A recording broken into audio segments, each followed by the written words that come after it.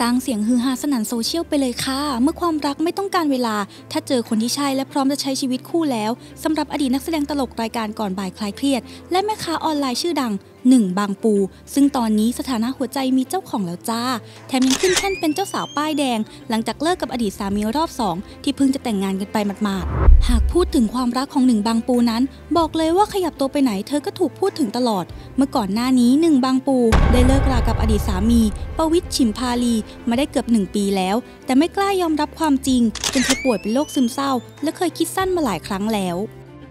โดยระหว่างที่ป่วยนั้นหนึ่งบางปูได้เจอกับผู้หญิงคนหนึ่งผ่านทาง TikTok ซึ่งผู้หญิงคนนี้คอยดูแลและให้คำปรึกษาตลอด จากที่คุยกันเป็นเพื่อนกลับก่อเกิดเป็นความรักแบบไม่รู้ตัว และตกลงเป็นแฟนกันในที่สุดค่ะ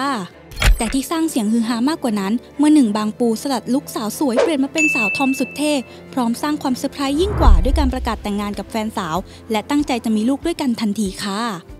แต่ยังไม่ทันได้แต่งงานกับแฟนสาว เธอก็สร้างเรื่องฮือฮาด้วยการประกาศกลับมาเป็นผู้หญิง และให้เรียกเธอว่าเจ๊หนึ่งสวยรวยโสดงดมีผัว ท่ามกลางแฟนคลับตกใจกันใหญ่ ว่าเกิดอะไรขึ้นกับความรักของหนึ่งบางปูกันแน่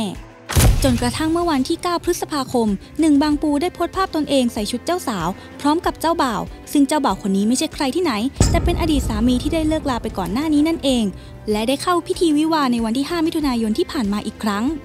ส่วนสาเหตุที่กลับมารีเทิร์นรักแต่งงานใหม่กับอดีตสามีนี้ เนื่องจากลูกสาวเป็นกาวใจให้กลับมาอยู่ด้วยกัน ซึ่งตลอดเวลาที่เลิกกับสามี เขาได้แอบทำอะไรหลาย ๆ อย่างที่หนึ่งบางปูไม่เคยรู้มาก่อน พร้อมยืนยันจบรักกับอดีตแฟนสาวไปด้วยดี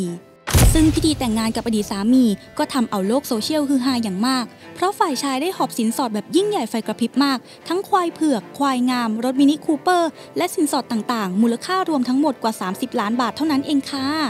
ซึ่งมูลค่าทั้งหมดนี้ยังไม่รวมงานวิวายิ่งใหญ่นะจ๊ะ แต่แล้วความรักครั้งนี้ก็ต้องจบลง เมื่อหนึ่งบางปูได้ปิดฉากรักกับอดีตสามีรอบสองหลังเพิ่งเข้าพิธีแต่งงานกันได้ราวหนึ่งเดือนเท่านั้น พร้อมยืนยันไม่มีเรื่องของมือที่ 3 ล่าสุดกลับมีเซอร์ไพรส์อีกแล้วค่ะ เมื่อหนึ่งบางปูได้ลงรูปเข้าพิธีแต่งงาน กับหนุ่มหล่อคนหนึ่งแบบเรียบง่าย ซึ่งดูจากทรงผมและการแต่งตัวแล้ว คาดว่าหนุ่มหล่อคนนี้น่าจะรับราชการท่ามกลางเพื่อนๆของหนึ่งบางปู เข้ามาแสดงความยินดีผ่านทาง Facebook ของเธอเป็นจำนวนมาก แถม status ใน Facebook ยังเปลี่ยนเป็นแต่งงานกับหนุ่มหล่อคนดังกล่าวอีกด้วยค่ะ ซึ่งข่าวสดขอแสดงความยินดีกับหนึ่งบางปูด้วยนะคะ ข่าวสดสื่อออนไลน์คุณภาพที่มีผู้ติดตามทางโซเชียลมากกว่า 19 ล้าน follower อย่าลืมติดตามคลิปดีๆ สาระความบันเทิงข่าวด่วนแบบฉับไวกับข่าวสดออนไลน์ทุกช่องทาง ไม่ว่าจะเป็น Facebook Twitter Instagram YouTube และ TikTok ค่ะ และตอนนี้นะคะแฟนเพจ Facebook สามารถส่งดาวมาเพื่อเป็นกำลังใจให้กับทีมงานข่าวสดได้แล้วค่ะ